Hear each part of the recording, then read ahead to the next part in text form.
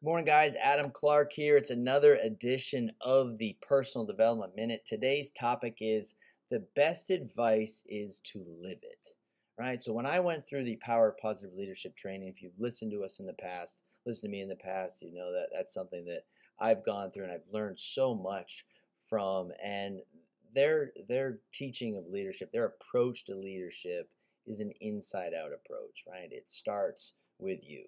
So, for you to become a more positive leader, for you to become a better leader, for you to lead your team to its fullest, to its potential, you must first lead yourself, right? You must live it, you must breathe it, you must embody it, right? Because if you're not, if you're just saying it, if you're just giving the advice and not living it, right, no one's going to follow your lead, right? So as I went through it, and I and I and I just listened to a podcast the other day, and this struck me, and it was just a small quote, and the person said I don't give advice, I just live it.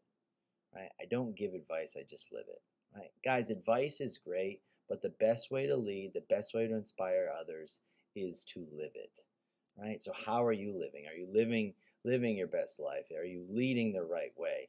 How do you want to live? Right? Do a reflection. Do it right now and, and, and see how you're doing. Right? So the best advice, guys, is to live it. That's another edition of the Personal Development Minute. Thanks for listening. Now go out there and dominate.